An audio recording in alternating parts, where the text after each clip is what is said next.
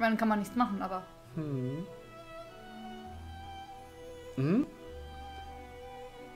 Seit, die, seit ich erfahren habe, dass die eine Piep aus, meiner Kla aus einer Klasse einen Apfelfetisch hat, mache ich mich immer drüber lustig. Das ist gemein. Das ist erstens gemein, beziehungsweise was ist ein Apfelfetisch? Also ich denke, das kann man bei euch nicht sagen, weil ihr benutzt es, weil es gewohnt seid. Also bei Ach so, du meinst Apple. Apfelfetisch, ja. Ah, okay. Nee, ich wollte mich nicht drüber lustig machen, weil es ist einfach die eigene Entscheidung. Also ich sage mal, wenn man es jetzt wirklich so, so, so, also wenn man es jetzt so, weiß ich nicht, so, so, so religiös verteidigt, dann finde ich, ist das.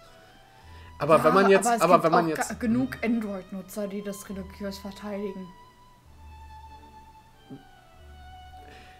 Ich finde, ja, also das, also wenn die mit so äh, Argumenten kommen, ich nutze es viel, viel- äh, ich will's, ich will es nur haben, weil es nicht Apple ist, dann ist es auch doof. Ja, aber ich meine zum Beispiel, es ist halt auch einfach dieses, ich mag mein Apple-Handy Mhm. und es macht alles, was ich brauche. Es hat eine gute Mhm. Kamera ähm, und ich komme mit der äh, Funktionsweise gut klar. So. Fertig. Also ich würde mir wahrscheinlich, wenn, wenn zufällig alles, was ich an einem Handy haben wollen würde und also und meins funktioniert gerade besser als seins. als mehrere von mir übrigens. ja. Also, Aber trotzdem würde ich mir keins kaufen, weil das rechtfertigt für mich trotzdem nicht den Preis. Ja. Wenn der in Ordnung wäre, würde ich es tatsächlich in Erwägung ziehen, Also ich weil meine- ich tolerant bin. also Aber ich meine, meins habe ich sogar noch für einen guten Preis gekriegt. kann man sehen, wie man. Also je nachdem, was der Preis war halt. Halt für ein Apple-Handy war es sehr gut. Ja, Und es war es mir wert. also ich sag mal, wenn ich, wenn ich ein vernünftiges äh, kriegen würde für höchstens 200 Euro, würde ich es auch machen. Aber sonst nehme ich lieber die. Nehme ich lieber mehr Leistung für Nimmst den du lieber Preis. also viele Reparaturen. Das ist was anderes. Ich weiß ja, woher es rührt, dass das repariert werden musste. Okay. Und davon mal abgesehen, teure Handys müssen nicht unbedingt reparaturfest sein. Ja, das ist. Ähm, erstens mal Apple-Akkus. Aber, aber auf der anderen Seite auch äh, äh, Na das. Handy, was ich vorher hatte, das hat mich Ja. äh, 300 Euro gebraucht gekostet Hm, und hat trotzdem einen Bootloop gekriegt, von dem der Hersteller sogar wusste. ja. Also ich meine, bei mir ist. Also das, da muss ich Apple kritisieren. Früher habe ich einfach meine Akkus ausgetauscht, wenn sie doof waren. Mhm. Aber jetzt geht es ja nicht mehr. Ja.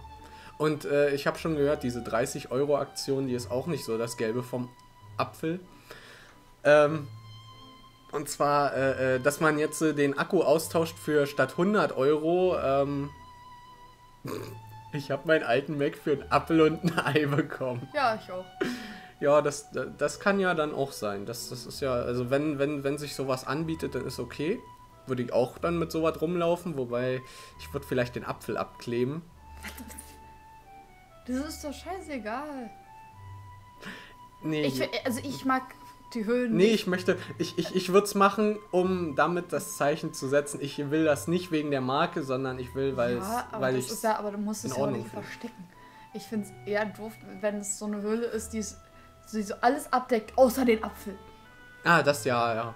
Nee, genau, stimmt. Man kann ja auch so eine Handyschale oder sowas Ja, haben. also das das wäre mein- okay, also ja. Ich meine, meine Handyschale ist halt leicht durchsichtig, dass man trotzdem noch den Apfel sieht, aber, mir, ge- aber es ist halt so einfach nur wegen Schutz. Mhm. Na, jedenfalls. Ja. Anstatt wir uns hier jetzt über Handys unterhalten. Ja. Und ja, auch Top-Handys können kaputt gehen. Und es gibt sogar, also momentan kommt es mir eher so vor, als ob gerade die Top-Handys eher anfällig sind für irgendwelche Problemchen. Und deswegen, ich würde lieber Mittelklasse gehen. Reicht auch. Spielt endlich das Spiel weiter und haltet die. Ja. Ja. Okay, ähm.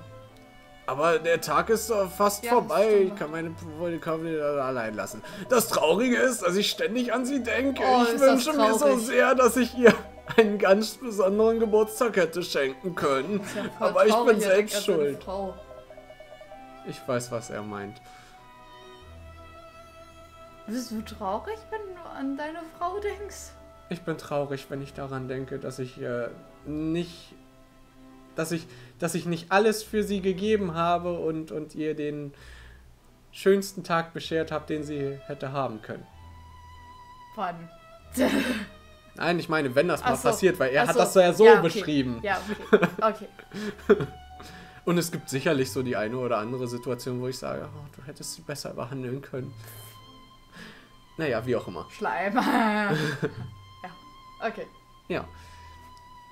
Aber ich bin selbst schuld. Jetzt muss ich mit leeren Händen zu ihr zurückkehren. Vergeuden, vergeuden Sie nicht weiter Ihre Zeit für mich. Gehen Sie nach Hause und genießen Sie noch den Rest des Tages. Ja, bitte lassen Sie mich hier liegen.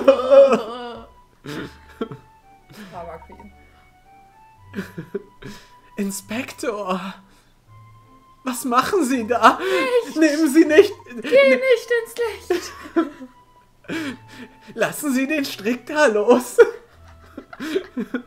Und, und legen Sie bitte Ihre Dienstwaffe weg. Meine Güte, der arme Mann, er sieht irgendwie kleiner aus als sonst. Und er ist schon nicht groß. Irgendwie fühle ich mich, als hätten wir ihn im Stich gelassen. Wenn wir doch nur etwas tun könnten. Wenn er sich aber selbst aufgegeben hat. Wir sollten wohl besser zurück ins Büro gehen. Ja, es gibt hier nichts mehr zu tun.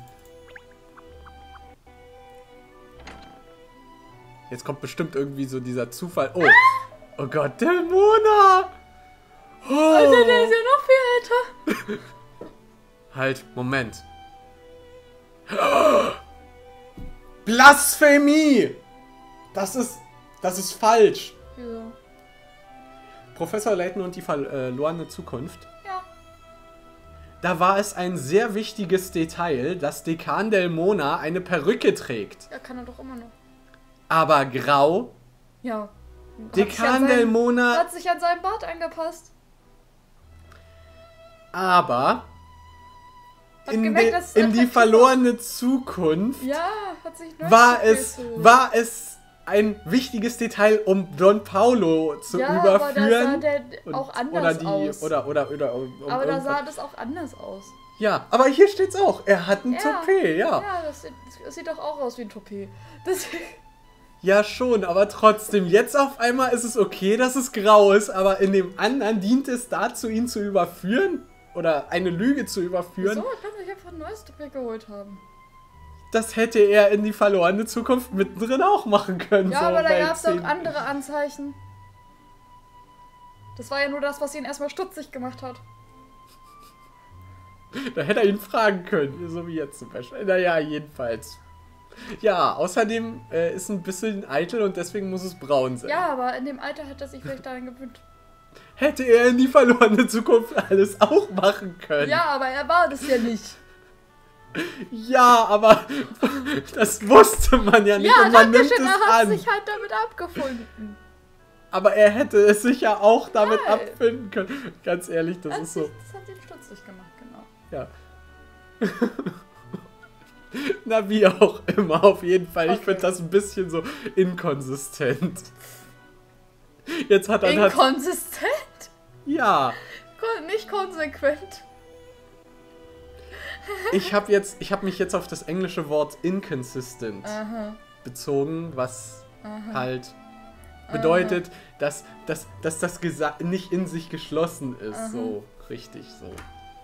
Ja, das ist Don Paolo einfach. Genau, so ist es. Das ist gar nicht Dekan del Mona. Ah, wenn das nicht Catriel Layton ist. Hallo, Dekan der Mona. Was für eine angenehme Überraschung, Sie hier zu treffen. Ich bin genauso überrascht wie du. Wer ist denn der alte Spitzschädel? Er, das ist der Dekan der Gressenheller Universität Shirl, ein alter Bekannter von Miss Layton. Hm, ich frage mich, ob es wohl eine Fügung des Schicksals ist, dass wir uns hier treffen. Ich habe da nämlich eine Enkelin. Wie meinen Sie das? Und das wäre cool, wenn er mit seiner Enkelin anfangen würde. Ja. Oh nee. Meine Enkelin hat mir mal wieder ein Rätsel geschickt. Es überfordert mich völlig. Ich habe ein Rätsel für Sie. Was ist mit meiner Perücke passiert? Ich wüsste nicht, wer besser geeignet wäre, es zu lösen als du, Catriel. Doch, einen wüsste ich, aber der ist nicht da.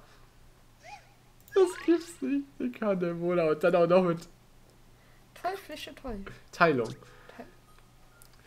Der Professor hat eine Gleichung an die Tafel geschrieben. Der Text links ergibt äh, den Bruch Oh rechts. Gott, ich hasse Brüche. Welche Zahl gehört also in das leere Feld unten rechts? Ich hasse Brüche. Mhm.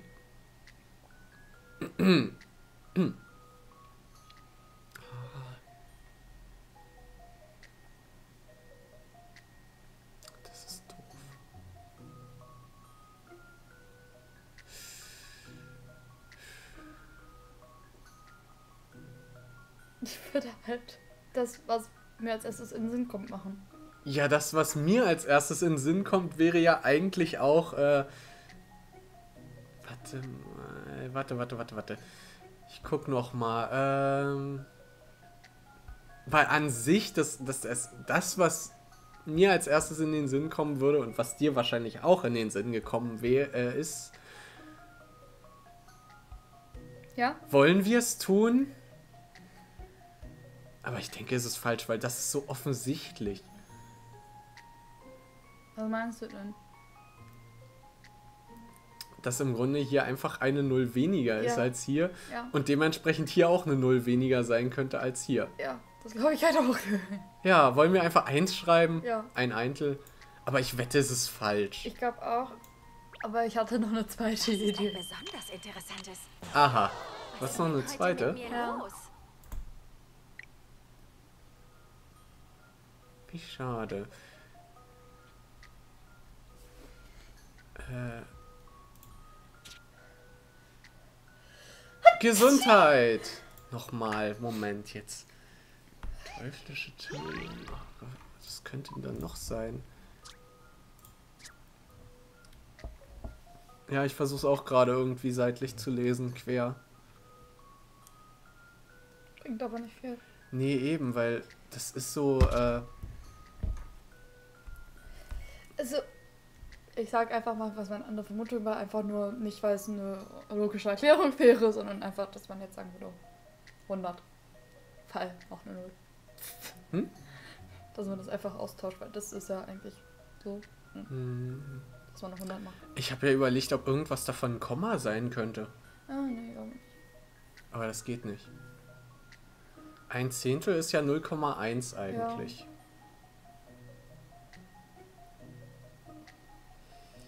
Was könnten da sonst noch sein? Also wenn man, Moment, also das heißt, dass man jetzt hier eigentlich eine 100 schreibt, Also weil, ich- ja, das, das, das hätte ich jetzt auch aber auch gedacht. Ich mach's jetzt einfach. Ja. Ja, Ja. ja, kriegst du den Punkt jetzt oder? also es war meine zweite Theorie, aber es ist, ich, ich habe es ja nicht richtig erklären Was? können. ja. Von daher würde ich sagen. Äh, sagen. warte mal, warte mal. Wir können ja, bevor das kommt, nochmal durchgehen. Warum könnte da jetzt eine 100 Also, sein? äh, ich würde sagen, weil, weil das vielleicht doch ein Komma ist und 0,001 das obere. Na, oben war 0,001, aber 0,1 wäre ja eigentlich. Ja, aber das ist irgendwie, keine Ich, ich weiß es auch nicht. Am besten Ja. keiner kriegt den Punkt ja, so keiner gesehen. kriegt den Punkt, weil das einfach nur geraten war. Ja. Oh! Okay. 1% ist 1 durch 100, Ähm, ich ja. brauche ein Ladekabel. Du brauchst ein Ladekabel, ist ja, Ich ist ja ein ein. Wunder, dass das überhaupt jetzt. Immer Mal. fällt mir auf. Ja, ja, ja. Das, das ist gut so. Gut so, gut so. Oben steht 10%, also ein Zehntel. Und unten steht 1%, also 100 Zehntel. Wahrscheinlich bist du durch das Rätsel jetzt drauf gekommen, dass du nur noch 1% Leistung auf, auf dem Akku hast. Aber der hat schon lange durchgehalten, der Akku. Blablabla. Hm. Danke, das ist einfach wunderbar. Mein kleiner Engel wird sich so sehr freuen. Ich freue mich, dass ich Ihnen helfen konnte, Dekan der Mona. Du siehst irgendwie nicht so fröhlich aus wie sonst, Catriel. Bedrückt dich etwas? Ihnen geht aber auch nichts, Dekan. Ich knabbere tatsächlich momentan selbst an einem schwierigen Fall. Ist okay? Ja, es ist noch da. Aber es ist dann irgendwann wieder weg einfach. Und ich kann mit sowas nicht leben. Das ist ein Telefon, mit dem muss man erreichbar sein. Und dann auf einmal ist Internet weg, Telefonieren weg, SMSen kriegen weg. Hm, Essen kriegen. Wie spät haben wir es eigentlich? 18 Uhr. Ah. Vielleicht So. kriegen wir den Fall noch hin. Mhm. Hm, knabbern. Nun denn, äh, vielleicht kann ich ja helfen. Erzähl mir doch mehr darüber. Wir kennen doch Inspektor Hastings von Scotland Yard. Nun, seine Frau hat heute Geburtstag.